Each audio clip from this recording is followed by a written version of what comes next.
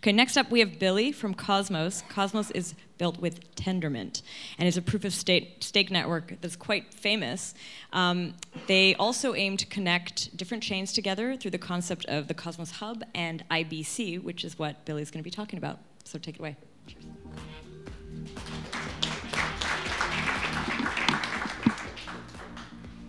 Hi there. Um, my name is Billy. Uh, before I start, I just wanted to give a shout out to ZK Validator by a certain Anna in the audience. Uh, we did a successful hub upgrade today, and we're all really excited about it. So let's give a round of applause for her really quick.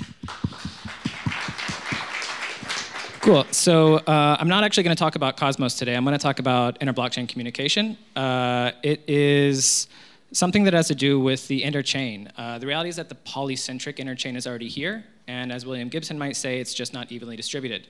I think a theme that we've already seen today is the idea of a hub and spoke model with multiple application-specific blockchains connected with different trust assumptions in different ways. Um, it's really validating to see that this concept, which we've been working on for years, is getting embraced by so many people. We really believe in it. As part of that, uh, we think that an important feature of it is a, a, trustless standard for communicating between these different chains, whether it's part of Waves, whether it's part of Polkadot, whether it's Ethereum, or whatever. Uh, and that's what IBC is all about. IBC is simply a messaging protocol for the interchain. And the interchain is just this concept of every possible blockchain being connected like the internet. The internet is not one big computer, it's a bunch of individual computers that have their own choice of operating systems, their own choice of how they're run, why they're run, what are their resources, who all connect based on the same protocol, TCP IP. They don't have to know or care about the other things. They can make their own decisions, their own assumptions about how they interact with them. So there's three big parts about IBC, and that's transportation, authentication, and ordering. So often we refer to it as IBC TAO, similar again to TCP IP. But basically, they break down into concepts of clients, connections, channels, packets, and modules. Uh, clients are light clients. This is an essential feature of IBC communication. The two chains communicating with each other need to have some version of a light client of each other in order to verify the proofs that come along with this packet. It really did come from where it says it's coming from. The next thing is connections. That's just essentially once there's been a proof between two blockchains via IBC, they have a connection to each other. After that connection is established, they're able to create channels. Channels are essentially where those packets travel through. Those packets contain serialized byte data. The protocol itself is completely agnostic to what you store inside that data.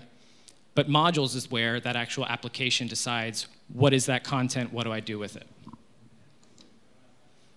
So again, I mentioned clients. These are verifying the consensus transcripts. Uh, one of the other requirements basically for IBC is this idea that it has fast finality, so you don't have chain reorganizations. Uh, but essentially, being able to verify the headers of that other chain is, is the other essential feature. So uh, currently, IBC is uh, focusing on supporting Tendermint-like clients, but every other protocol out there that has a light client is, uh, is fair game. Uh, associating two chains, I mentioned this is connections. Channels is basically that data pipe. Packets is where all the action is at. This is uh, basically where you get to decide what's happening when these two chains talk to each other. So I'm going to quickly walk you through exactly what IBC would look like if you were to use the Cosmos SDK. Just one of the many choices for building application-specific blockchains. It's written in Golang. Uh, if you have the choice or the decision to make your blockchain in another framework, we fully encourage that. We like to think that the uh, SDK is a really viable option, though. Uh, but essentially, a module is like a smart contract. You know, it's tightly coupled logic and storage. Inside of some module, you might be doing something. Maybe it's a smart contract module. So maybe it's like Waves. You have all sorts of contracts that are deployed there, doing their own execution environment. One of them might decide to communicate with another blockchain. They'd be able to create an IBC packet inside of the IBC module, which is essentially a place that a, life, uh, a light client exists.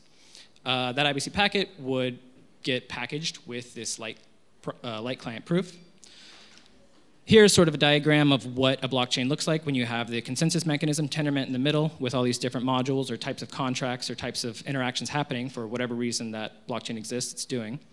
Um, and then it gets relayed across uh, a network of other blockchains. This relay takes place by a relayer. This is sort of an independent third party. It could be a, somebody you pay, somebody yourself. Uh, it's basically a disinterested third party, possibly. It's a little bit like message relaying um, with Ethereum. Uh, doesn't really matter how it gets from blockchain A to blockchain B. Once it arrives, it basically replays that entire process backwards. Gets included in a block by whatever consensus mechanism is there. In this instance, it's Tendermint. Goes into the IBC module. Uh, there, it's able to be proven that it actually came from the source that it said. And this proof is involved with that original sort of like a handshake that establishes the connection and then establishes the channel. Once it's verified, it can be handed over to the module where it's deserialized and it actually does the thing that it was intended to do. So whether that's a token transfer, whether that's a vote across chains, anything. Uh, and so that opens up a lot of interesting use cases. Uh, at the IBC app level, this is the application level where the actual serialization and processing takes place. Uh, the most simple you could think of is a token transfer. You know, this is the most basic idea of sending value from one chain to another. Uh, but you can also do really interesting things with account abstractions. So you could have an entire blockchain represent yourself.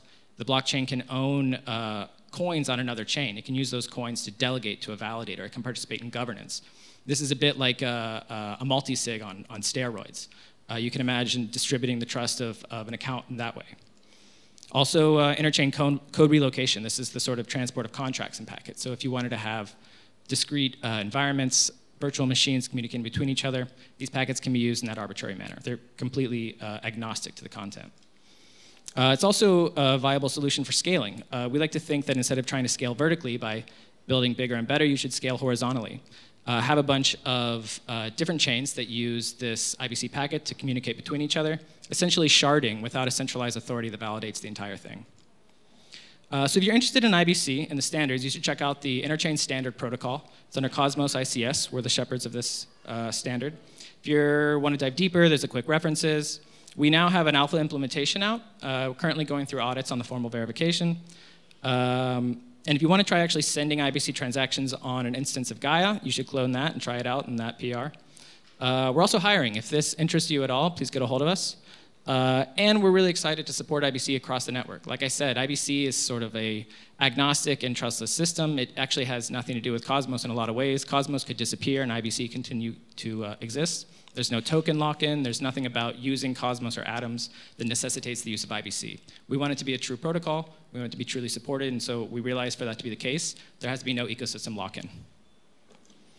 Also, I want to tell you about Game of Zones. Uh, so, as IBC develops, we're going to be running it through the same uh, intensive um, testing system that we did for the Cosmos Hub itself last year. Uh, we're going to be running an adversarial test network of chains communicating via IBC. It will be a contest as well. Uh, there will be different um, objectives by running nodes inside this network, trying to attack each other, do different malicious or positive behavior inside the network. You'll be able to win atoms. There will be 100,000 atoms given away by this. Uh, it's also a really great way to just get oriented with the system. If you're working on another protocol or another project and you're interested in supporting IBC, maybe it can save you some work while you're doing your own version of it. Uh, this is a great way to get accustomed to all of it. Uh, I invite all of you to participate. Thank you very much.